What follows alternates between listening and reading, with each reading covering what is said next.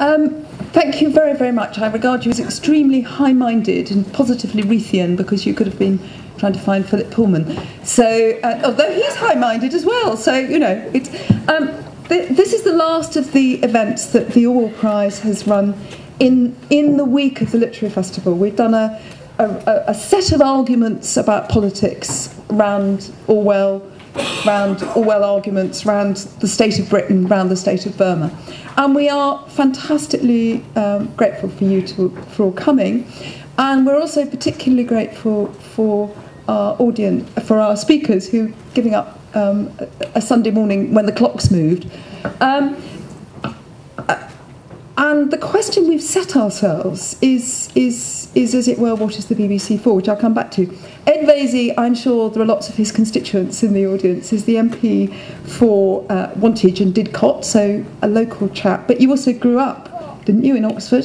Well, I went to Oxford. You went to Oxford, okay. Um, and he's been shadow. I, I, didn't know if I grew up when I was here. That's very good. Um, uh, he's shadow culture minister and we'll have, you know, come the election which cometh soon, um, and come Peter Kellner, who we also had speakings, intimate projections of what the polls say. He's going to be in charge of this lump of our national turf, the BBC.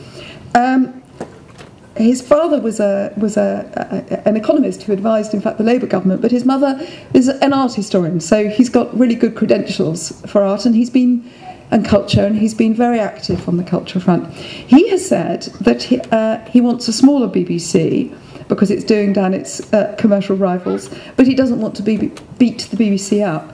Our other speaker, and we're really grateful for him um, coming, is David Mitchell, whose distinguished career as one of those kind of great, very sharp British comedians. I think perhaps we can say comedy and deprecating is one of the features of the British culture and British habits and British character which endures after a very distinguished, growing uh, comedy career on Channel 4 in The Peep Show, in the Mitchell and Webb programme, uh, Mock the Week, Have I Got News for You, and most recently The Bubble, which is one of those very interesting programmes which plays with our sense of what is, in a sense, what, what's going on in the world. So we're very grateful for both of them.